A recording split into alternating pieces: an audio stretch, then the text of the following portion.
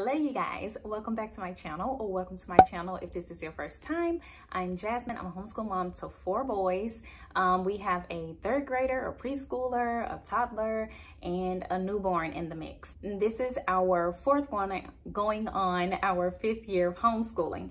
And today I have a short but exciting homeschool update for you guys. This is our April homeschool update. I actually skipped on an update last month um, because we just there there wasn't really much to update on so i'm just kind of combining march and april um, here in this one update for you guys. So for today's update, I'm going to be sharing a couple of books that we read and really enjoyed um, these past couple months or past two months.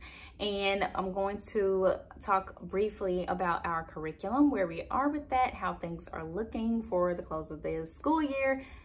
I am switching up um, not the curriculum we're using, but switching up um, how we're closing out the school year just a little bit because we are going on vacation to states. By the time you guys see this video, we would have already um, taken off and we will already be there.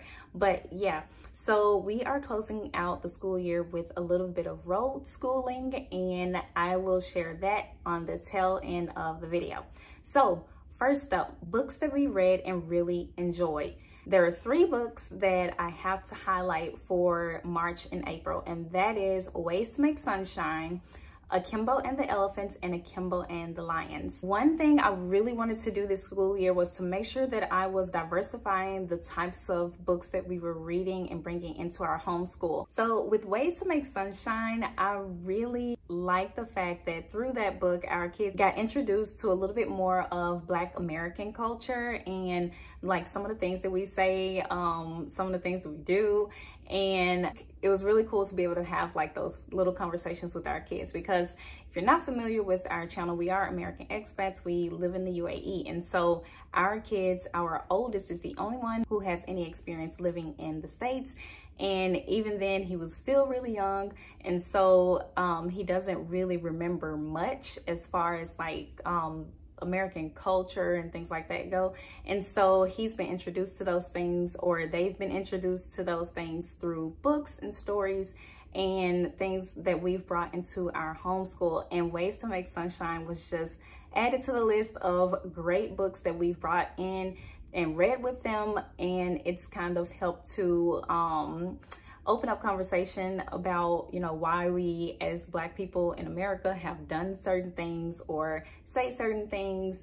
And yeah, I could tell they really, really enjoyed that book. Even my four-year-old was asking at bedtime if we could um, read some more of this book. So I think this was a great pick for our homeschool read list this year. Not to mention, we also got to touch on uh, sibling dynamic and talk about, you know, um, what it looks like to value our siblings and really look out for each other, have each other's back, and all of that. Now, Akimbo and the Elephants, Akimbo and the Lions, those two books are a part of the uh, three in one book uh, series that I bought. Those two stories, the boys really, really enjoy. We kept them to um, bedtime read aloud and they're really quick, easy reads. Um, now it's not like finishing one night type of quick and easy read, but they were quick and easy reads. Like we we could read a story in a week's time frame. But um, the boys really liked those books. I could definitely see us reading these again, maybe even sometime soon. Um, again, even my four-year-old was into the stories. And I liked how they um, touched on real topics like poaching and what that looks like, how harmful that is to um, to animals. And it even gave a glimpse into the life of those who sort of dedicate their lives to rescuing those animals and um, making sure that poachers don't have easy access to them and things like that. So I really enjoyed reading these books with the boys. Now on to our road schooling plans and how we um, are switching things up just a little bit for as far as how we're closing out the school year.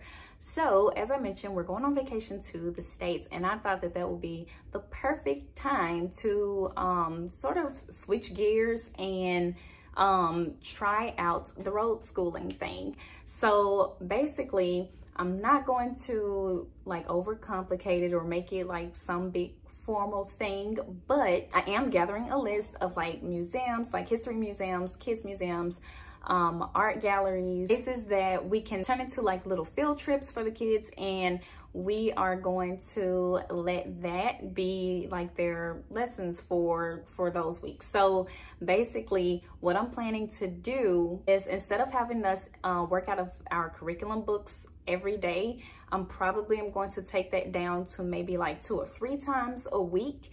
And instead we're going to do field trips. We're going to get outdoors see what we can do as far as that goes because things have been heating up here in the UAE already. And so we already have dialed back on going outside during the day. We try to get it in in the morning as much as we can, but we're not always able to. So hopefully while we're visiting, we can take advantage of finer weather. Now we haven't been very big on doing projects in our homeschool, but this year, since we're doing the road schooling thing, I would like for us to as best we can um do like a compilation video of our trip so i want me and my oldest to try to work together to um, capture footage of like the history museums, kids museums, and art galleries and things that we do outdoors and all of that and just kind of put together a, um, a compilation video of all of that.